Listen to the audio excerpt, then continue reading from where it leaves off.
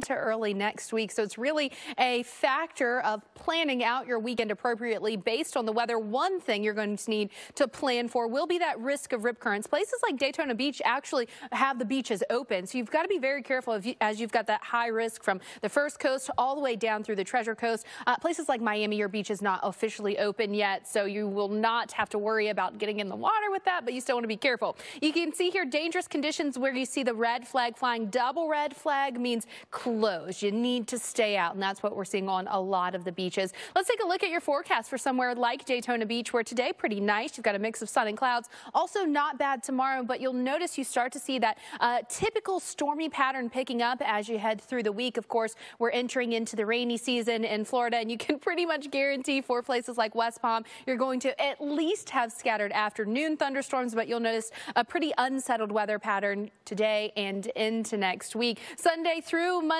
Friday, you can see the best day in Miami to spend some time outdoors would be today because your storm chances do begin to pick up as we head into early next week. And then this is what we're looking at for Fernandina Beach. You've got pretty nice weather, but Tuesday and Wednesday watching a tropical system, so we want you to get prepared. Great tips there.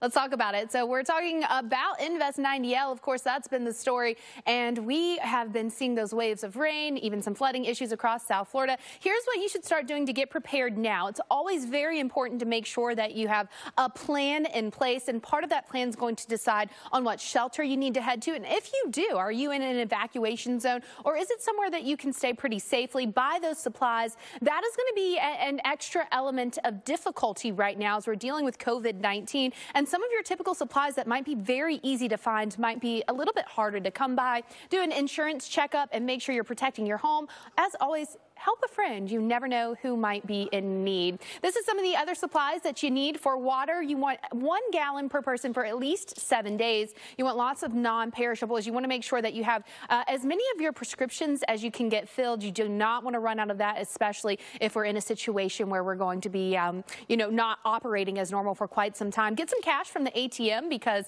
you might not be able to use those cards. Always good advice there. First aid kit. I can't stress the importance of this. You never know uh, what type of things you're going to be dealing with. There could be debris out there as you're walking around. So uh, you want to make sure you have that first aid kit with band-aids and everything you might need. A battery-powered NOAA weather radio. So important. You may think, well, usually I use my phone. However, if we're without electricity for quite some time, it might be harder to charge your phone. So this is going to become something that is so useful. And of course, those battery-powered LED lights, no candles.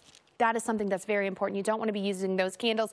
And battery powered or solar chargers, flashlights are also great. So many things for you to put in your kit right now. And then we actually have a system that's threatening. You won't have to worry about it. Now, of course, we are keeping an eye on Invest 90L hanging out here between the Bahamas and the southeast coast of Florida. You see it there, 80% chance of development as we're watching this system. Now, regardless of development, it's funneling moisture and gusty winds into the east coast of Florida and also creating some very rough uh, beach situations. Here's the area of development for the next five days. You'll notice the general progression of this off to the northeast through the Atlantic. Some of the models have moved it a little bit farther west, though, so we are going to have to watch the Outer Banks. We currently have our